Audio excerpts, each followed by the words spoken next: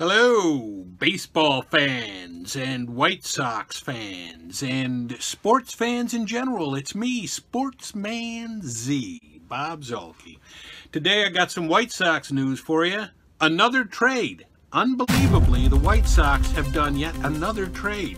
After getting Haseley, after getting Graveman, after getting um, Kelly and um, um, Harrison, they have also now gone out and traded Craig Kimbrel, who they got from the Cubs last year, and sent him to the Dodgers for A.J. Pollock.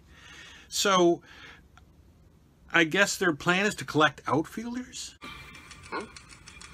You, you know what I noticed? Nobody panics when things go according to plan. Even if the plan is horrifying. So anyway, yeah, that's another outfielder because we just traded for Haseley, and so now we have AJ Pollock. Um, I I don't know that we needed that many outfielders. Although last year Kimbrel, now you'll recall overall Kimbrel last year was good.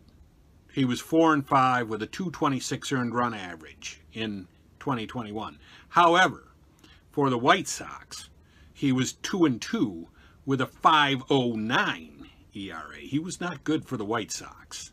Not at all. So, um,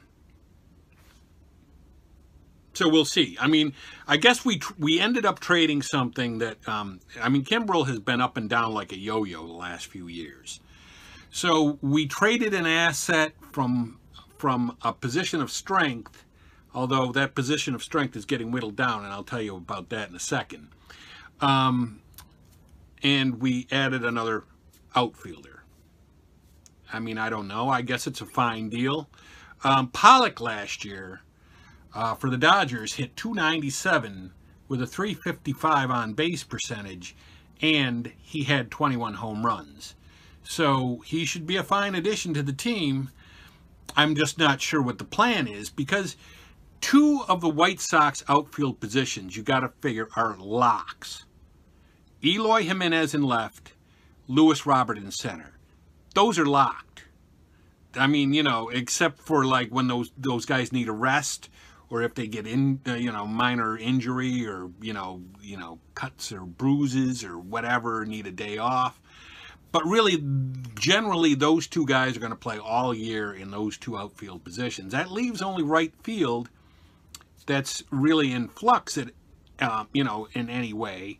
And um, you got Vaughn who will play out there occasionally. Now he is out with a hip injury for, uh, you know, maybe a few weeks, three weeks to a, a month maybe.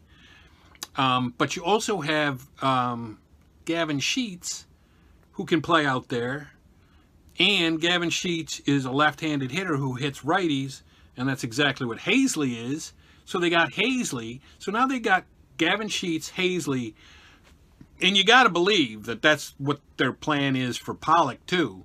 In fact, Pollock may now be the guy, the right fielder, and so the outfield may be locked in as um, Eloy Jimenez, um, Robert, and and Pollock. So we'll see.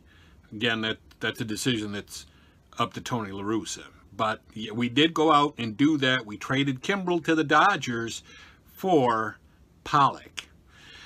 Now, uh, the injury news that I've got is Crochet is out for the season and he needs Tommy John surgery. So that isn't good. That is not good at all. Garrett Crochet gone. So you, one might question the timing of trading Kimbrel when we just lost Crochet for the season uh, to Tommy John surgery. So I I don't know. I, I really don't know. I'm not the guy that makes that decision. I'm glad I don't have to make those decisions. But the White Sox still are a very good team. They should still win the Central Division. Um, and I don't think that the this combination of all these moves really does much to make the White Sox much better or much worse. But what do you guys think? Leave a comment below. Give me a thumbs up if you like the video. Subscribe to my channel if you haven't. You know some of you out there are watching this and you haven't. So just do it. It's free. It's free and you'll know whenever I put a video up. So anyway, that is my commentary for today, my update for the White Sox for today, and that's going to be it for me, Sportsman Z Bob Zuhlke, signing off.